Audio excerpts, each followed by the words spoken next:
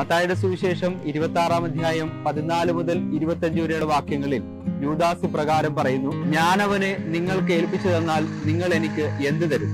യൂദാസിന്റെ ഈ വാക്കുകളെ ഏൽപ്പിച്ചു തരിക എന്നതിന്റെ ഗ്രീക്ക് വാക്ക് പാരാദീതമി എന്നതാണ് ഈ പദത്തിന്റെ കർമ്മണി പ്രയോഗം മത്തായുടെ സുവിശേഷത്തിൽ തന്നെ പതിനേഴാം അധ്യായം ഇരുപത്തിരണ്ടാം വാക്യത്തിലും ഇരുപതാം അധ്യായം പതിനെട്ടാം വാക്യത്തിലും ഇരുപത്തി ആറാം അധ്യായം രണ്ടാം വാക്യത്തിലും കാണുന്നുണ്ട്.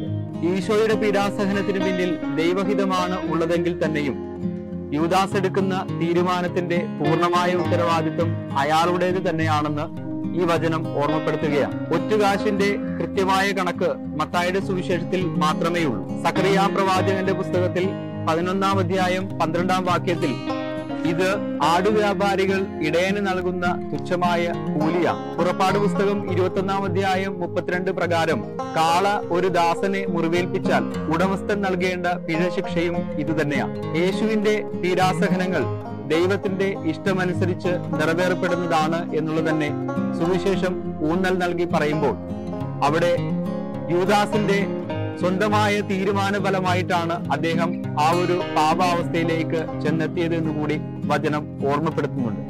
ക്രിസ്തുവിന്റെ പീഡാസഹനങ്ങളെ അനുസ്മരിച്ച് ആഘോഷിക്കുമ്പോൾ നമുക്കും നമ്മുടെ വ്യക്തിപരമായ സ്വന്തമായ പല തീരുമാനങ്ങളിലൂടെയും ഈശോയെ വേദനിപ്പിച്ചതിനെ ഓർത്ത് ഈശോയ്ക്ക് മുറിവുകൾ നൽകിയതിനെ ഓർത്ത് നമുക്ക് പശ്ചാത്തപിക്കാം ദൈവത്തിന്റെ കാരുണ്യത്തിന് വേണ്ടി പ്രാർത്ഥിക്കുകയും ചെയ്യാം.